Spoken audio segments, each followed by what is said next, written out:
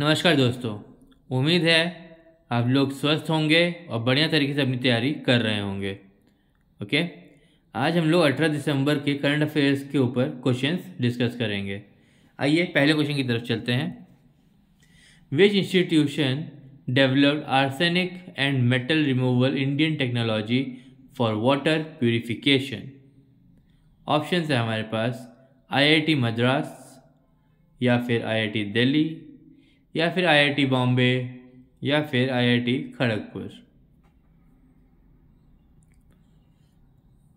इसका सही जवाब होगा, आईआईटी मद्रास ने ये टेक्नोलॉजी बनाई है, ओके वाटर प्यूरिफिकेशन के लिए।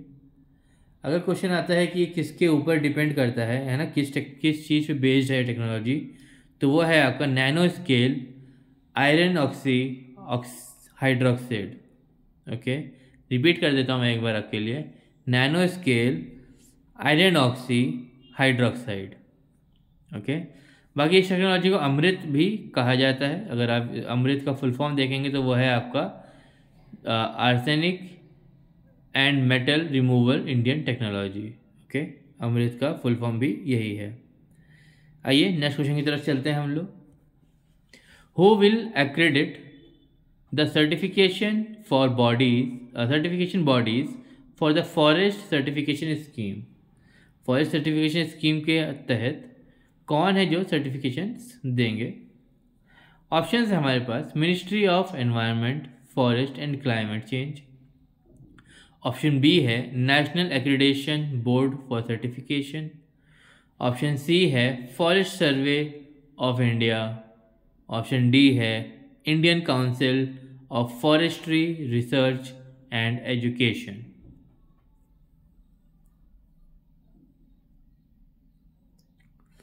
इसका सही जवाब होगा national accreditation board for certification okay next question की तरफ़ चलते हैं हम लोग. Tata power EV charging solutions limited signed MoU with which company to deploy 500 EV charging points okay Tata जैसे टाटा हो गई, और भी काफ़ी कंपनियाँ जो आजकल ईवी e यानी कि इलेक्ट्रिकल व्हीकल्स निकाल रहे हैं। तो किस कंपनी के साथ मिलकर इन्होंने डिसाइड किया है डील किया है कि वो लोग 500 इलेक्ट्रॉनिक व्हीकल्स की चार्जिंग पॉइंट्स के लिए जगह बनाएँगे या फिर पंप टाइप का एक एरिया बनाया जाएगा। जैसे पेट्रोल पंप होता है, वैसे चार्जिंग पॉइंट्स भी चाहिए होंगी for electrical vehicles option A है हमारे पास, Hindustan Petroleum. Option B Bharat Petroleum. Option C Reliance, option D Indian Oil.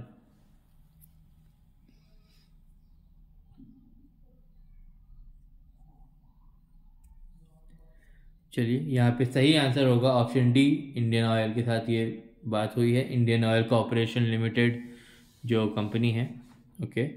And जो मोटो है इनका वो यही है कि इंटरसिटी चार्जिंग नेटवर्क एक बन सके, है ना? हर थोड़ी थोड़ी दूर पे। चार्जिंग पॉइंट्स रहेंगे और इंटरसिटी मतलब एक शहर से दूसरे शहर जाने में कोई तकलीफ़ ना हो इलेक्ट्रिकल व्हीकल्स को। नेक्स्ट क्वेश्चन की तरफ़ चलते हैं हम लोग। In which country was a statue dedicated to Thiruvalluvar unveiled recently okay Thiruvalluvar ji का स्टैचू है, कहाँ पे अभी भी बना है, ये पूछा जा रहा है। ऑप्शन है हमारे पास Germany option B France option C USA option D, Brazil.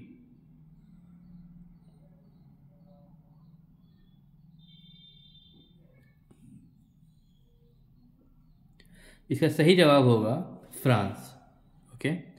France में अभी भी इनकी एक नई आइडल, एक नई मूर्ति बनी है। स्टैचू बना है आई मीन एंड फ्रांस में कहाँ अगर आपको प्रिसाइसली क्वेश्चन पूछा तो करजी में बना है ये। स्पेलिंग होंगी इसकी C E R G Y okay जी में बना है। एंड uh, अगर थिरुवलर के बारे में इनको आइडिया नहीं उनको मैं बता दूँ इनको वल्लूवर भी कहा जाता है ओके जो ये थ्रू वाला पार्ट है वो आप अगर नहीं भी लिखते हैं वो एक रेस्पेक्ट के हिसाब से है तो वल्लूवर भी कहा जाता है। बाकी ये एक तमिल पोएट रहे हैं अपने टाइम के। एंड फिलोसोफर भी हैं तो तमिल से इनका ये है। बाकी अगर देखा जाए तो इंडिया में भी इनका एक स्टैचू है ऑलरेडी ओके तो फॉरेन में फ़र्स्ट टाइम हुआ है। इंडिया में एक स्टैचू है इनका। इंडिया में कहाँ पर है? अगर उसका क्वेश्चन आता है थिरुवल्लर जी का स्टैचू तो वो है आपका कन्याकुमारी में ओके तमिलनाडु में।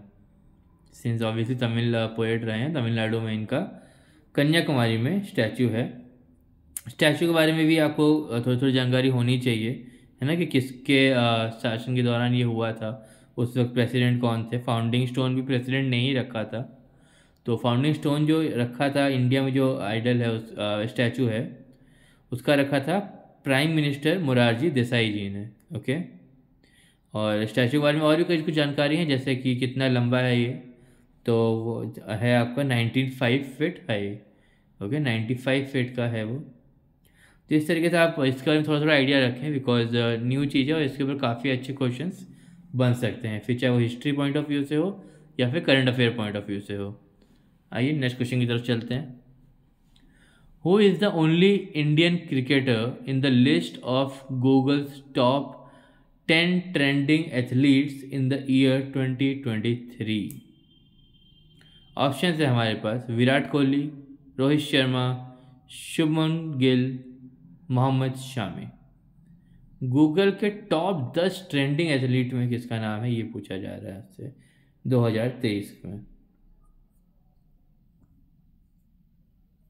अगेन एक लिस्ट का क्वेश्चन ना मैं पहले भी कई बार रिपीट कर चुका हूँ, फिर से यहाँ पे कोई अगर नया स्टूडेंट आया तो उसके लिए बता दूँ। कोई लिस्ट हो, कोई इंडेक्स हो, कोई सर्वे हुआ है, कोई समिट हो रहा है, कोई कॉन्फ्रेंस हो रहा है, कहीं भी तरीके की तरह गैदरिंग हो रही है है ना? इस तरह की जो चीज़ें होती हैं, उनके बारे में आपके नोट्स अप टू डेट रहने चाहिए। हम यहाँ पे आपको अप टू डेट करने की पूरी कोशिश करते हैं। बाकी फिर भी आप अपने लेवल पे इसकी तैयारी रखें। ओके तो इसका सही जवाब होगा शुभनम गिल। शुभनम गिल जो है ट्रेंडिंग टॉप एथलीट्स में रहे हैं। नेक्स्ट क्वेश्चन की तरफ़ चलते हैं हम लोग। Which British Indian composer has been included in the 2024 Booker prize judging panel okay twenty twenty four के बुकर प्राइज जजिंग पैनल में किसको इंक्लूड किया गया, पूछा जा रहा है, और ये एक ब्रिटिश इंडियन कंपोज़र है। ऑप्शन है हमारे पास अमित घोष अमिताभ घोष किरण देसाई सलमान रुश्दी या फिर नितिन सहानी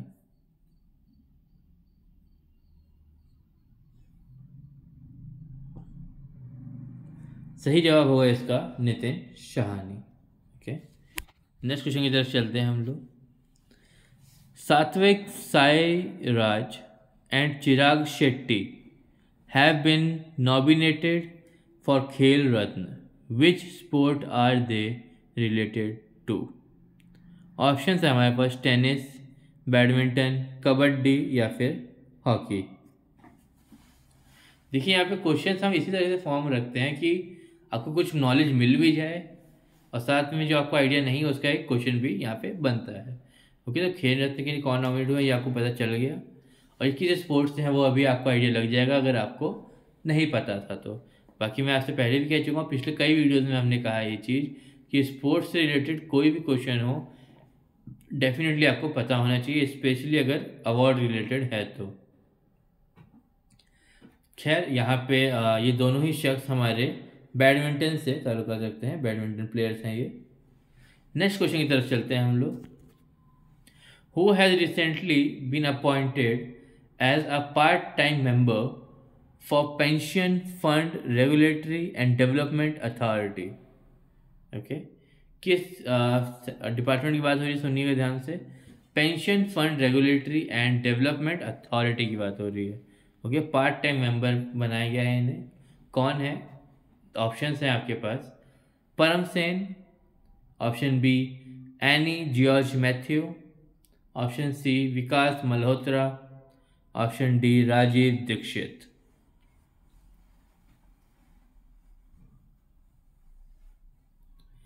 Okay okay, इसका सही जवाब होगा परमा सेन। इनके बारे में आप ज़रूर थोड़ी सी जानकारी और रखें है ना? कौन है ये? इसके पहले इनका क्या डेजिग्नेशन था, उसके ऊपर भी क्वेश्चन आ सकता है। नेक्स्ट क्वेश्चन की तरफ़ चलते हैं हम।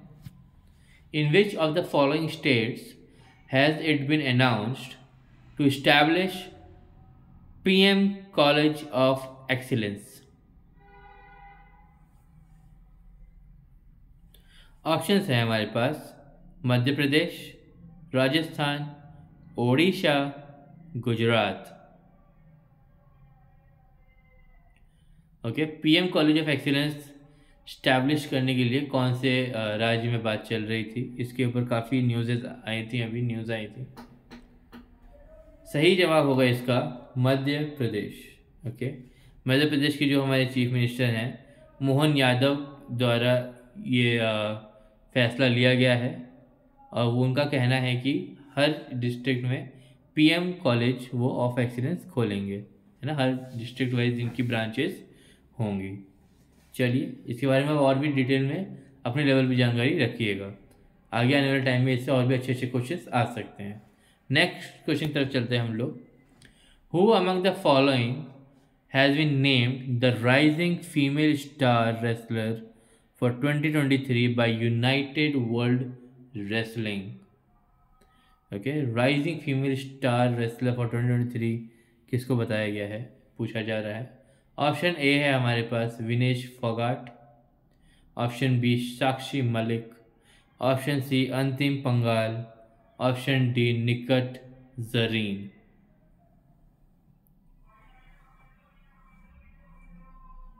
Again sports related question है ना? देखिए स्पोर्ट्स में कई लोगों को क्रिकेट एंड फुटबॉल की नॉलेज होती है बट बॉक्सिंग हो गया रेसलिंग हो गई hockey and tennis badmintons football, हर एक सेक्टर की नॉलेज आपको होना ज़रूरी है। ओके खैर, यहाँ पे फीमेल स्टार रेसलर की बात हो रही है और यहाँ पे है हमारा सही जवाब अंतिम पंगाल ओके और इनके बारे में अगर बताया जाए तो ये अंडर ट्वेंटी वर्ल्ड चैम्पियन भी हैं एंड सिल्वर मेडल भी जीता है इन्होंने एशियन चैम्पियनशिप में। Okay under world twenty world under twenty world champion भी हैं और सिल्वर मेडल भी जीता है कहाँ पर? एशियन चैम्पियनशिप में। और इससे रिलेटेड और भी चीज़ें बन सकती हैं, जैसे कि एशियन चैम्पियनशिप कहाँ हुई थी, है ना? क्योंकि इसके थ्रू उसके बारे में भी क्वेश्चन आ सकते हैं। तो कजाकिस्तान में एशियन चैम्पियनशिप भी हुई थी रेसलर्स की। ओके चलिए नेक्स्ट क्वेश्चन की तरफ़ चलते हैं हम लोग। On which of the following days was the fifty six submarine day of the indian navy celebrated. Okay 56th submarine day of the Indian Navy के बारे में पूछा जा रहा है। ऑप्शन है हमारे पास eighth December tenth December twelfth December और fourteen December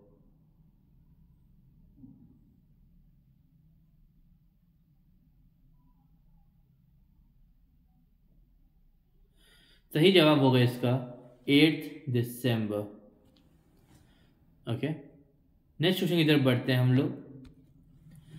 Gaddam Kumar Prasad has recently been appointed as the new speaker of the legislative assembly of which state okay Gaddam Kumar Prasad के बारे में actually इन्होंने question में बता भी दिया है एक बात और एक बात आपसे पूछी भी गई है ना? क्वेश्चन घुमा के भी आ सकता है, Gaddam Kumar Prasad as a answerable option भी पूछा जा सकता है। यहाँ पे स्टेट के बारे में पूछ रहे हैं। स्टेट के ऑप्शन है हमारे पास। Option A Rajasthan. Option B Chhattisgarh. Option C Telangana. Option D Madhya Pradesh.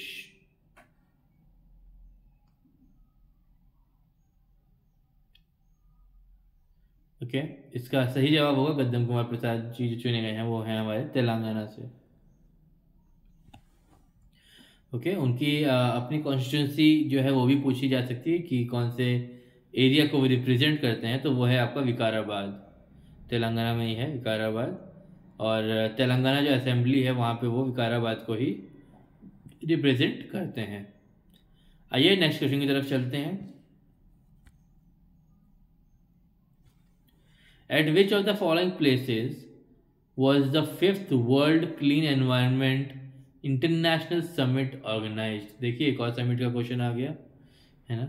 कई बार होते हैं लोगों को आइडिया ही नहीं होता है कि समिट हो भी गया है है ना? तो सिंस आपको आइडिया रहे, कहाँ हो रहा है, कब पहली बार हुआ था कौन कौन हिस्सा हुआ था, कोई न्यू मेंबर ऐड हुआ है कि नहीं हुआ है, किस बारे में हुआ, कोई नया डिसीज़न लिया गया है कि नहीं लिया गया है, इस तरह की बातें आपको कोई भी सबमिट हो या फिर कॉन्फ्रेंस हो रहा है तो उसके बारे में आपको पता होना चाहिए। क्योंकि यहाँ पे जैसे क्वेश्चन आया कि fifth world clean environment international summit हुआ है। कहाँ पर हुआ है? इसके ऑप्शन है हमारे पास। Option A Patna. Option B new Delhi option C Bengaluru option D Gurugram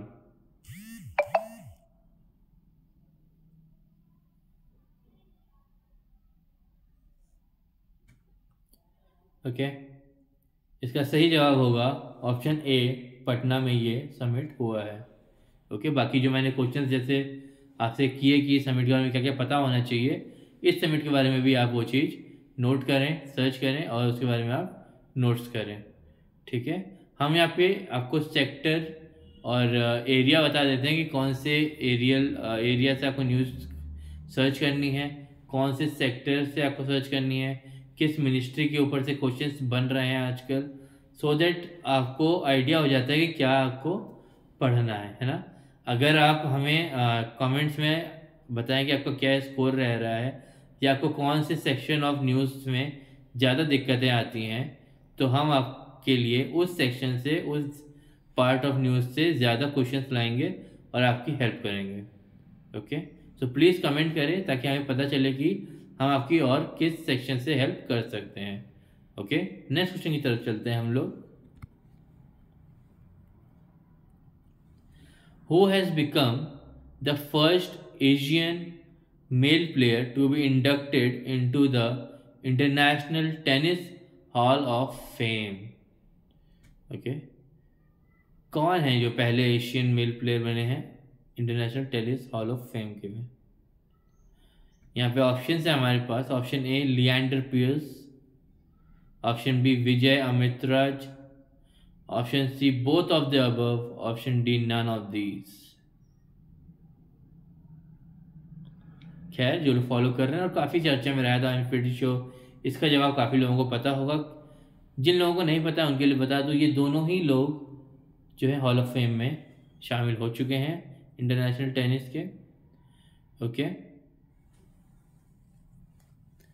बाकी इसी के साथ साथ जो इंडिया है वो ट्वेंटी एट्थ कंट्री बनता है, जिसका नाम Hall of Fame the International Tennis Hall of Fame में आया है ओके इसके पहले International Tennis Hall of Fame में जो भी लोग थे, वो सत्ताईस कंट्रियों से थे। पहली बार कोई इंडियन भी वहाँ पे आया है तो इंडिया जो है ट्वेंटी एट्थ कंट्री बनी है। इसका भी क्वेश्चन आ सकता है आपके लिए। बाकी अगर जैसे एशियन मेल का ये क्वेश्चन था। अगर एशियन वुमेन का क्वेश्चन आएगा तो उसके लिए भी मैं थोड़ा सा आपको आइडिया दूँ। ली ना चाइना की प्लेयर हैं। ली ना वो भी International Tennis Hall of Fame में शामिल हुई हैं। ओके एशियन फ़र्स्ट वुमेन अगर प्लेयर पूछा जाता है आपसे तो। ओके तो रिलेटेड रिलेटेड क्वेश्चन देखिए, हर तरह से बन सकते हैं। जितने मुझे ऑन द स्पॉट याद आ जाते हैं, मैं आपको बता देता हूँ। बाकी मेरी ऐसे गुजारिश चाहिए कि फिर भी आप हर एक टॉपिक को, हर एक न्यूज़ को जो हम यहाँ आपके जिस बारे में आपको बताते हैं, उससे रिलेटेड आप अपने थोड़े थोड़े नोट्स बना के रखें। ज़्यादा नहीं, हर एक न्यूज़ से एटलीस्ट पाँच से छः क्वेश्चन आपको पता होने चाहिए, जो न्यूज़ेस को हम यहाँ पे डिस्कस करते हैं ओके जो न्यूज़ यहाँ पे आपको दिख रही है, उससे रिलेटेड आप पाँच से छः क्वेश्चन और बना के रखें। खाली इतना करना है और इसीलिए डेली ज़्यादा नहीं देखिए, पंद्रह बीस मिनट की वीडियो यहाँ पे होती है, बीस से पच्चीस मिनट की ज़्यादा से ज़्यादा। और आप अपने लेवल पे अगर थोड़ी सी तैयारी और करते हैं तो डेली का एक घंटा आपको खाली देना है और आपका करंट अफेयर्स पूरी तरीके से रेडी हो जाएगा। ओके चलिए नेक्स्ट क्वेश्चन की तरफ़ चलते हैं। When was inter when was national energy conservation day celebrated okay option है हमारे पास eleventh December twelfth December thirteen December या फिर फोर्टीन दिसंबर। देखिए तो फैक्चुअल क्वेश्चन है, कौन सा दिन कब मनाया जाता है, उस दिन को कोई थीम रखी गई थी कि नहीं। अगर कोई बड़ा सेलिब्रेशन है तो की नोट स्पीकर कौन थे, या फिर चीफ गेस्ट कौन थे, इस तरह के क्वेश्चन आपको पता होने चाहिए। खैर, यहाँ पे जो क्वेश्चन है, काफ़ी सिंपल क्वेश्चन है। नेशनल एनर्जी कंजर्वेशन डे कब मनाया गया और उसका सही जवाब है फोर्टीन दिसंबर ओके चलिए, आज के लिए इतने क्वेश्चंस बाकी जिन लोगों को हमें ऑफलाइन क्लासेस ज्वाइन करनी है प्रॉपर बैचेस अगर ज्वाइन करने हैं सब्जेक्ट वाइज या फिर ऑल सब्जेक्ट के हिसाब से तो इस पते पे कोचिंग आ सकते हैं ओके यहाँ पे आप क्वेरी कर सकते हैं for batches timings and everything and यहाँ पे अगर आप ऑफ़ ऑफलाइन नहीं आ सकते ऑनलाइन आना है तो आप यहाँ पे लाइव क्लास के लिए भी अप्लाई कर सकते हैं. ठीक है? क्वेरी कीजिए, पता कीजिए। और डेफिनेट मेरी तरफ़ से प्रॉमिस है कि आप निराश नहीं होंगे और एक साल के अंदर अंदर आपकी जॉब लगने की स्थिति भी आ जाएगी। बस थोड़ी थोड़ी मेहनत करते रहिए। बहुत आराम से आपकी जॉब लग जाएगी। Okay thank you very much see you in the next video